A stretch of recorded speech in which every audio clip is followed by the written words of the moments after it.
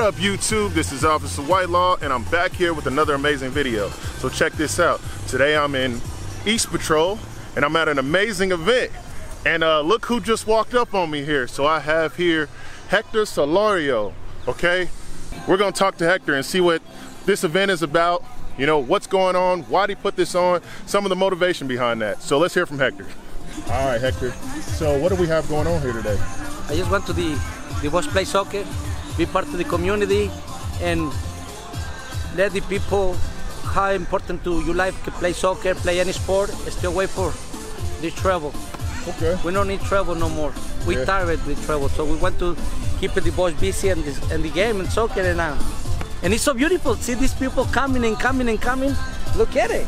Now now is my time to you too. Community is the good thing, and uh, this is really what I like it to to support the best I can, not to make money. Is to really support the boys, support the boys and girls, and anybody want to play soccer and anybody want to be here. Come on, we, invite you. Let's come over. Let's keep going together. And I, love the KCPD, for real. I love it. And you know, when people speak things about the KC and it's not true, I not support it. I always told, told them to the truth. No speed, things only the police. Everybody made mistakes. I made mistakes. Anybody made mistakes. But please remember, everything is for some reason. Community. And this moment is the community. Thank you for your time and thank you for everything, sir.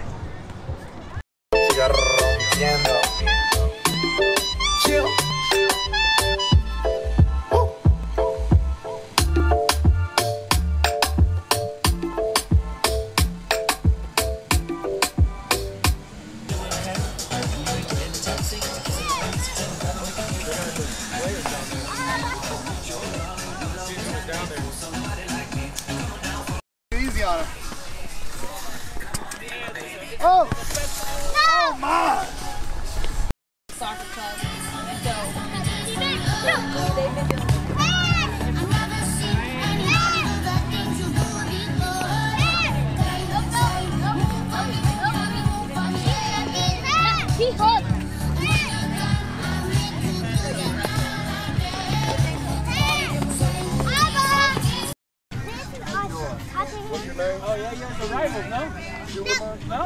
Well, Dad, I scored an amazing goal. I scored here. All right, guys, so check this out. We're gonna meet up with Officer Gordillo, who is uh, one of the CIOs, which is a community interaction officer. He works right here in the East community, and he had a great part in putting this whole thing together. We're gonna sit here and we're gonna talk to him, see what this is all about, see why this is important from his perspective. So, Officer Gordillo, Yeah. man, uh, Yeah. what's important about this event? Yeah, man. I mean, just look around. I mean, you can just just look around, just look at the video. I mean, you have everybody coming together. You know, this is a bunch of businesses, bunch of vendors.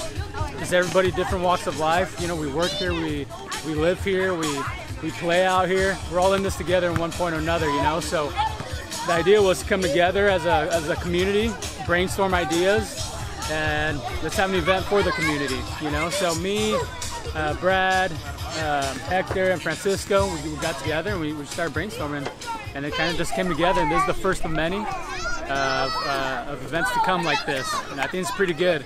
We're gonna. The idea is to kind of turn the table. You know, the on the flyer it says kids, community, and commitment. You know, in any community you're in, you want to have a commitment for your kids. You know, and I think once you do that at early age, you get them involved in something like soccer, just get them busy with something. I think it'll help them change their mindset that they don't have to be out here doing shenanigans. You know, get them busy with soccer, get them busy with teamwork, how to communicate with others, and it's going to help them out to be a better person when they grow up. So that's pretty much the mindset behind- behind all of it. All right, man, I appreciate you. Yeah, bro. Hope you enjoy Absolutely. the day. Thanks, bro.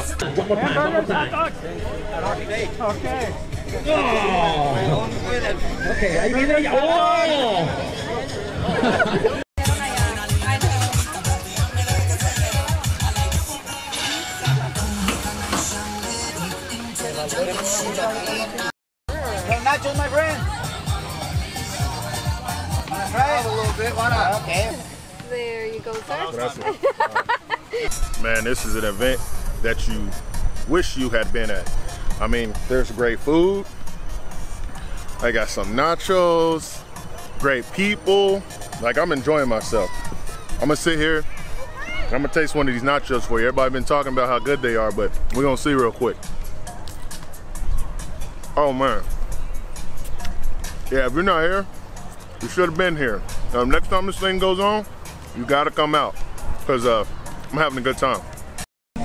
No, yo, no tú no, yo, yo. He, he wants to say something.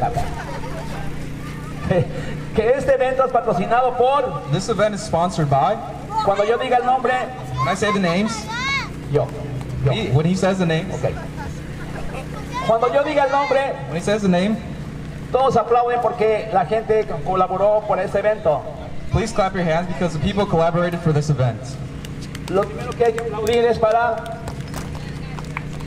Lo primero que hay que aplaudir es para The first sponsor is los policías.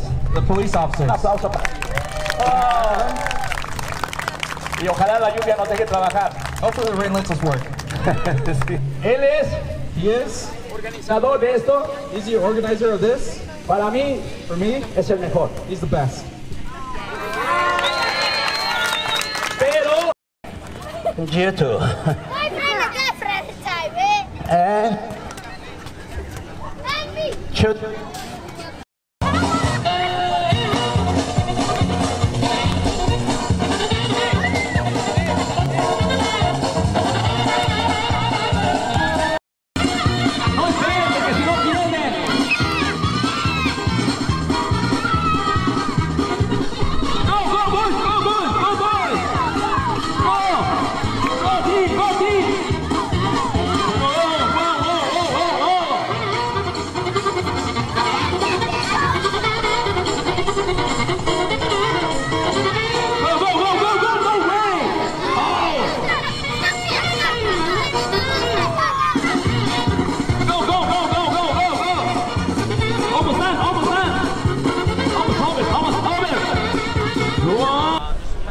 guys. So we've met Hector Solorio Senior.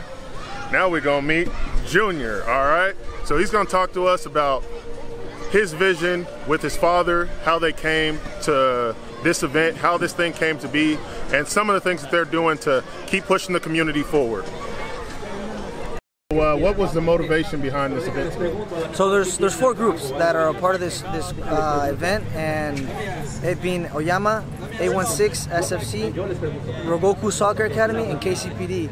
Uh, all four of us coming together and wanting to raise awareness for the community and really giving back to, to these kids uh, that live in this part of the, the neighborhood through through the game of soccer and allowing them to, to play the game and be with their friends and give that social part of the game and the community aspect to the kids is, is our mission, right? It's motivating for us to see kids here happy, joyful, uh, having a good time with their friends uh, because we believe that one, one more kid playing the game is one less kid on the streets uh, involved with violence uh, and any type of gang activity. So seeing all these kids here is really motivating for, for myself and for all the people that are a part of this and it only motivates us more to continue to do more events like this. All right, guys, so check this out. I'm back here with another great community member that had a hand in putting this great event together. Uh, so I'm going to introduce him here, let him introduce himself, and he'll talk a little bit about his motivation for this event and his hand in this whole thing and what makes this whole thing so special. So, uh, what's your name, sir? My name is Brad Leonard. I'm the founder of Ragoku Soccer Academy, which is a new private school in the area for, for boys that are very interested in the game of soccer. All right, and so uh, what's your part in this whole event today? So, as a new school, part of our uh, part of what we need to do is canvass the community and see what those needs and, and concerns are. So, after speaking with several members of the community, uh, not only community leaders, uh, religious leaders, uh, students, parents, uh, ba- basically anybody that would sit down and meet with me, uh, we quickly found that a, a big need in this community is is really programming in the area. Um, we know that that when uh, especially young boys uh, don't have that programming, uh, when they don't have something to do, when they don't keep busy, especially in those summer months, um, they, they tend to get themselves in a little bit of trouble. so what we wanted to do is is partner with a lot of these community members that you see today, and then uh, make sure that we, we provide something fun that also showcases their talents. Um, we, we know in the Northeast the game of soccer is huge. You can't go far without hearing about it, without talking about it. Um, and, and everybody has something to offer through the game of soccer. Uh, maybe they enjoy watching it, they enjoy playing it, they enjoy talking about it. So, getting all those people together, uh, we're hoping that we can build connections uh, that span not only across age groups, uh, but but across cultures, across religions, uh, uh, across neighborhoods. Um, so, so the main goal here is just to pull everybody together. Next after him. First off, we're, we're very happy Okay. Y luego, él, y luego, él, y luego él, al. Vamos a comenzar. Tienen que contar cuántas veces va a dominar el balón. ¿Listo? From the bad, the bad energy no sabe want to give this to you as a symbol to say that, when you come go ready? We've got your back. Counting. Uh, we're going to take care of you. Uh, whatever your goals are, those are our goals. Two. We're going to do everything we can to get you where you want to go. Okay? So congratulations. Welcome. We're excited for you, man. Oh, Who's name? Let's take a picture. It's me. Very good. Yeah, give me one second. Give me one Good job. Good one job. Japanese culture, okay? this is called a shide. stay quiet, stay quiet. And if you ever go to Japan, you see them everywhere. Him What they do is they signify that you're entering kind of a sacred space, um, that the good energy stays in that space and the bad energy is not, not welcome in that space. So we want to give it to our students as a way to signify that we're going to take care of them. You know, it's us. They're a sacred individual and we're going to do everything we can uh, to take care of them, take care of their family, and take care of their, Okay. their entire situation. Oh man, that's awesome. Yeah. That's awesome. Yeah. Uh-huh.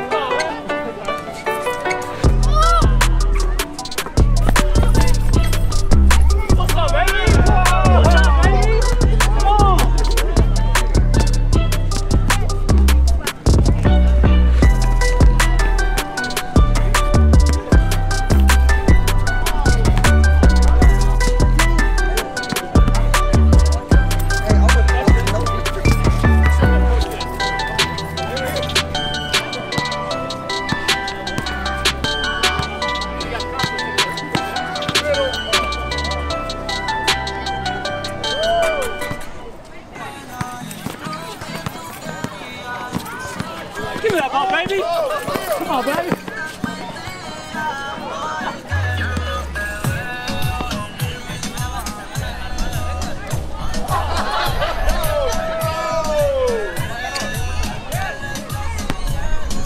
So here's a few more community members that I want to sit down, have a conversation with them, and see just their part in this because this has been a great event. So check us out. What's your name, ma'am? I am Reverend Mindy Fuggerino. I'm the pastor at Independence Boulevard Christian Church, at Independence Avenue in Gladstone. And um, we are home of the Micah Ministries on Monday night where we feed over 500 meals every week and give clothing and help with stimulus. And we also host Care Beyond the Boulevard free medical clinic. And um, you're going to hear more from them in a minute. And I'm we're here today because Rogoku Soccer Academy is also um, has their home at Independence Boulevard Christian Church, and uh, the leader Brad and myself and several other organizations decided we need to start building community together so that we can work together to address some of the barriers that are in people's ways to meeting their goals, and so that we can. Um, really change some of the cycles of, of, violence and poverty around. So we are called Ripples for Change, and that's you know people from all different organizations. I couldn't name them all. Um, some are people of faith, some are secular communities, but we're just excited about that. Um, I also am a co-chair of the Becoming Beloved community team for the Christian Church Disciples of Christ in Greater Kansas City, and um, they're co-sponsors of this as well. And just basically just trying to do anything that um, works for racial and economic equity. So that's a lot of different groups that are out here. So yeah, thank so you. if people wanted to join with you all in your mission and what you're trying to do here, where would they reach you at? Um, you can either call Independence Boulevard Christian Church or you can um, email ripples for change KC, all one word, at gmail.com. So, what's your name, ma'am? My name is KK Osman. I'm a family nurse practitioner and founder of Care Beyond the Boulevard. Okay. And Care Beyond the Boulevard is a street medicine team. We provide health care to the homeless and to the uninsured and underserved um, throughout the whole Kansas City metro. We started five years ago um, inside Independence Boulevard Christian Church in conjunction with Micah Ministries, and we've grown to currently we have five clinics a night a week. I'm sorry, seven clinics a week, five nights of the week. Monday nights we're at Independence Boulevard Christian Church. On Tuesdays we have a big green bus that we drive around and we go into encampments to provide health care to people who are experiencing homelessness. Wednesdays we have a bus route and a van that do those the same thing that we do on Tuesday nights just in different areas. Thursday, we have a clinic at Cherith Brook in the Northeast. And then on Saturday, we have another clinic at Independence Boulevard Christian Church, as well as a clinic in the afternoon at Christine's Place on Independence Boulevard. So we have um, fully licensed healthcare providers who are there to provide assessments and um, diagnose and treat people who um, are otherwise lost in the system. Like, you know, it's really difficult if you're homeless or you're not insured to find health care. And our goal is to provide compassionate health care to everyone that we come across. Thank you. You're welcome. I'm tired now. It's been a long day. I mean, I think this event started at like 9 o'clock this morning. It's now almost 1 o'clock. So, as you can see, the community has taken the time to come together and make something awesome happen. We have this huge event where many kids were able to come out and enjoy themselves and the police department and everybody just coming together and working together to change the narrative. Um, so I had a blast. I hope you guys have had a blast. So remember, as I always say, to like, comment, share, and subscribe. We look forward to doing more of this. Look forward to being able to go to more events and you guys seeing just how we do in Kansas City. Appreciate you.